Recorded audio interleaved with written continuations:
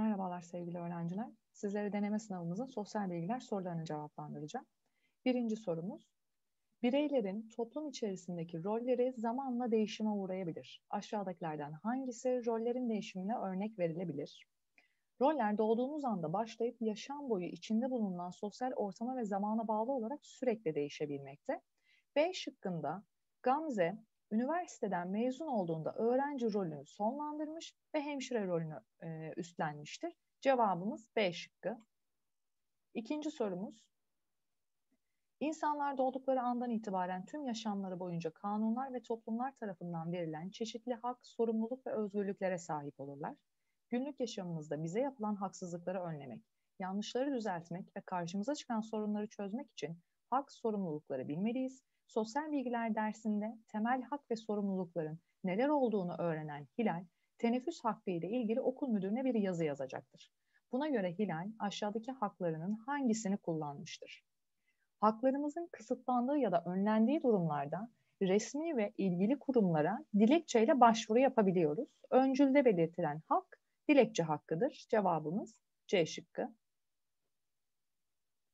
Üçüncü sorumuz, Öğretmenin bahsettiği hak aşağıdakilerden hangisidir? En temel ve en önemli hakkımızdır.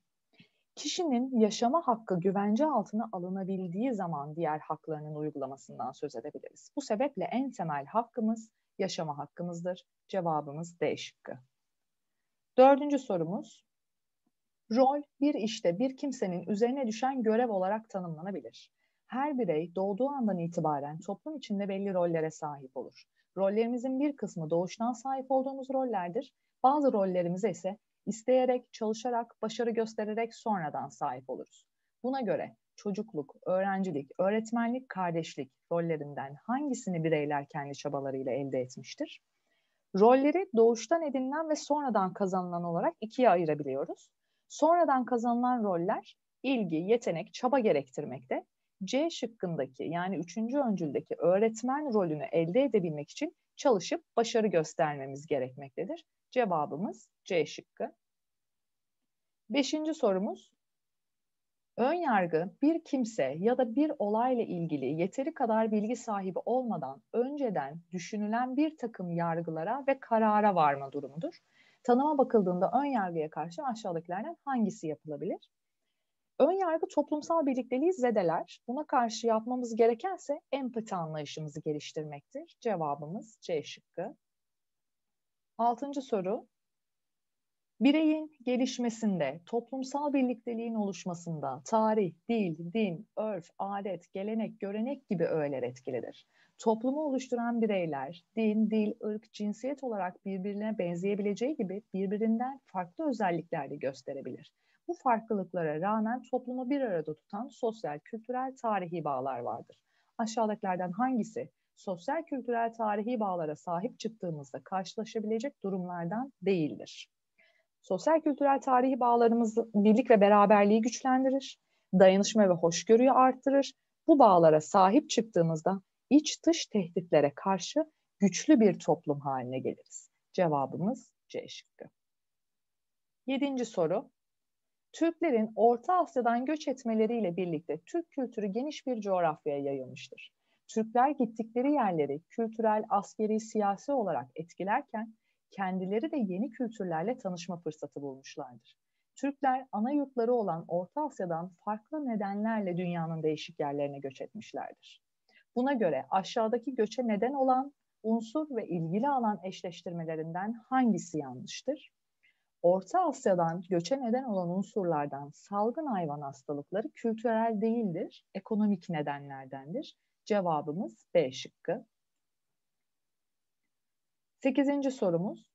Orta Asya'da ilk Türk devleti olan Hunlar M.Ö. 3. yüzyılda Orhun bölgesi ve Altay dağları çevresine yerleştiler.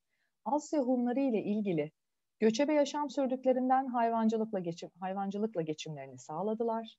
En parlak dönemleri Onlu sistemi bulan Metehan zamanındadır. Milattan önce 220 tarihinde Teoman tarafından kuruldular.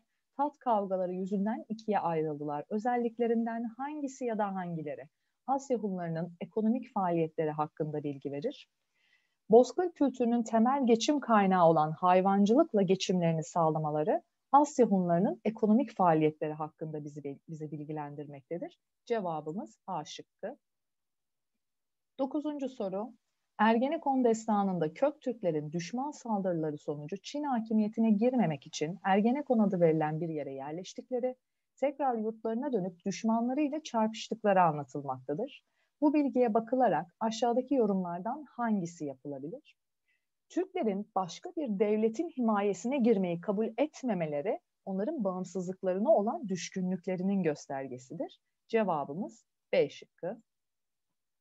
10. sorumuz Bilgi Kül Kağan tarafından 745 yılında kurulan Uygurlar yerleşik yaşama geçen ilk Türk devletidir. Saraylar, tapınaklar, evler inşa ederek kalıcı eserler veren, kendilerine ait alfabeleri bulunan Uygurlar, Çinliler ile yoğun etkileşimde bulunmuşlardır. Uygurlar Maniheizmi benimsediler, kendilerine ait Uygur alfabesini kullandılar, kağıt ve matbaayı kullandılar, kalıcı eserler oluşturdular. Yukarıdakilerden hangileri Uygurların Çin ile en çok kültürel etkileşime geçen Türk devletlerinin başında geldiğine kanıt olarak gösterilebilir. Uygurlar Çinlerden etkilenerek Maniheizm, Maniheizm dinini benimsediler. Kağıt ve matbaa gibi icatları da yine Çinlilerden öğrenip kullandılar. Bu durum Uygur-Çin etkileşiminin kanıtıdır. Cevabımız C şıkkı.